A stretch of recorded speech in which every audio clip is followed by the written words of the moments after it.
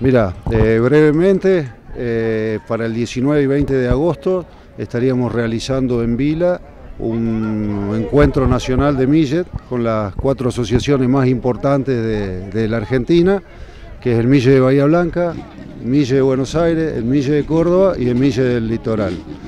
Eh, una doble jornada, sábado y domingo, en donde ya en estos días ya estará saliendo una, una carpeta con toda la información necesaria para toda la gente e incluso para ustedes los periodistas también para que empecemos a darle difusión a- al evento. La forma de disputa va a ser con doble jornada de una presentación de otra carrera, ¿cómo es? Sí, presentación y clasificaciones el día sábado y las carreras el, el día domingo.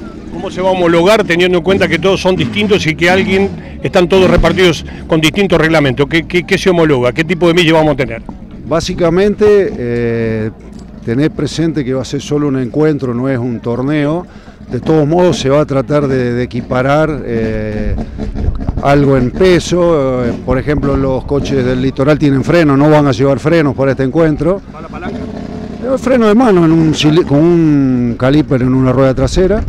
Y bueno, y después los otros tendrán que equiparar un poco en el peso, eh, va a haber algo de goma también para el mille del litoral, este, pero eh, obviamente que no se está buscando una paridad total porque es solamente un encuentro, nada más, ¿no es cierto? Eh, gracias por cortarnos estas buenas noticias y ojalá el tiempo acompañe para esta gran organización que también marca un hito histórico. Sí, es, eh, la verdad que estamos muy entusiasmados y es como si fuera un poco el festejo central de los 50 años de la Asociación Villa del Litoral. Y bueno, agradecerte a vos, a todos los periodistas, porque vamos a necesitar de ustedes para, para difundir el evento, que creo que va a ser eh, extremadamente importante para la, para la región y para el automovilismo, automovilismo local.